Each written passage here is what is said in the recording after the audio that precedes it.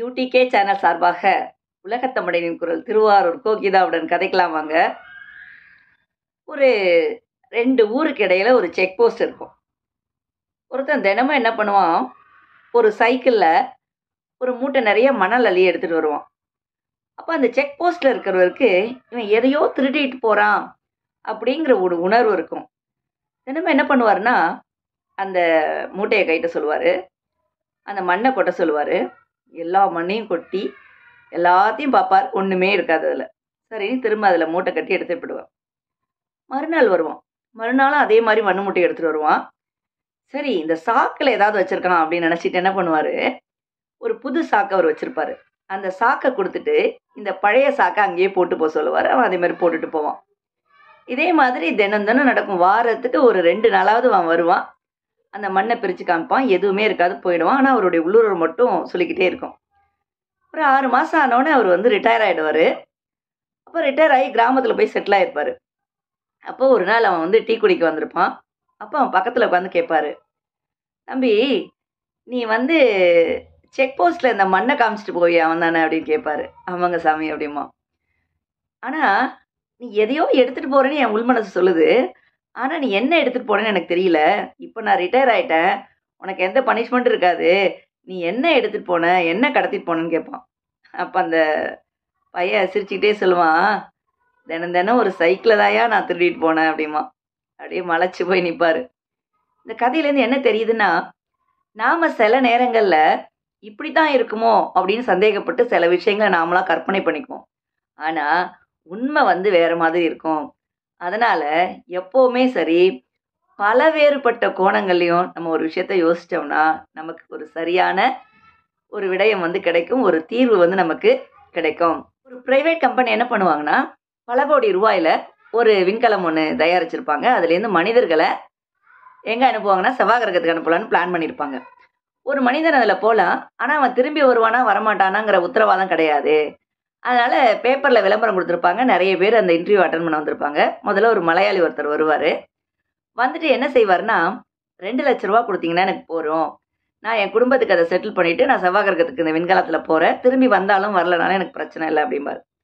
அடுத்ததாக ஒரு ஹிந்திக்காரன் வரும். வந்துட்டு என்ன சொல்லுவான்? எனக்கு நீங்கள் ஒரு லட்சம் கொடுத்தா போதும்.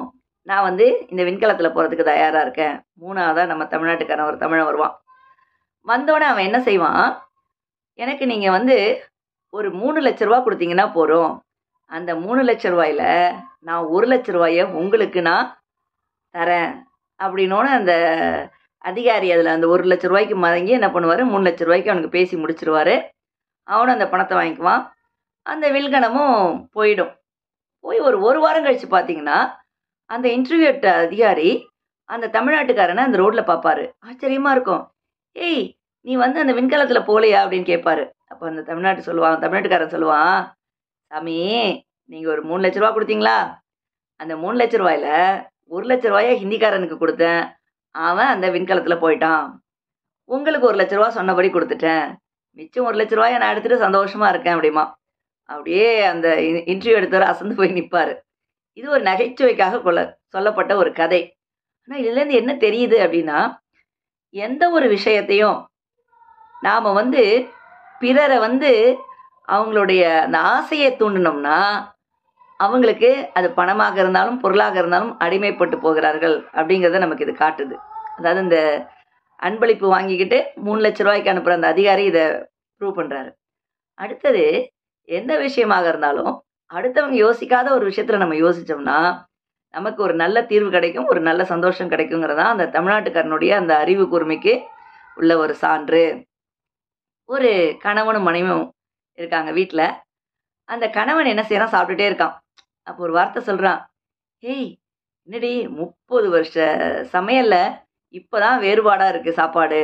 என்னங்க என்னங்க? நான் ரொம்ப ச நல்லா சமைக்கிறேனா அப்படின்னு கேட்பா அப்போல்லாம் உன் கருப்பு முடி விழுந்து கிடக்கும். இப்போ வெள்ளை முடி விழுந்து கிடக்கு அப்படின்னு சிரிப்பான். அந்த மாதிரி இது வந்து ஒரு நகைச்சுவைக்காக சொல்லப்பட்ட கதை. இருந்தாலும் அதாவது நகைச்சுவை உணர்வுங்கிறது ரெண்டு கணவன் மனைவியாக இருந்தாலும் சரிதான் நண்பர்களாக இருந்தாலும் சரிதான் சகோதர சகோதரிகளாக இருந்தாலும் சரிதான். இப்போ முடிங்கிய கடக்கே அப்படின்னு அந்த கணவன் திட்டியிருந்தா அவங்க ரெண்டு பேருக்கு கடையில் ஒரு மனஸ்தாபம் வந்திருக்கும். அதுக்கு பதிலாக அவன் நகைச்சுவையாக கருப்பு முடி வெள்ளை முடி முப்பது வருஷம் கழிச்சு கிட கிடக்கு அப்படின்னு சொல்லும் பொழுது அதை வந்து மனைவிக்கு வந்து ஒரு உறுத்தலாகவே இல்லை. அதனால் அவர்களுடைய உறவுகள் வந்து ரொம்ப அருமையாக இருக்குது அதனால் நகைச்சுவை என்பது மிக அருமையான விஷயம்.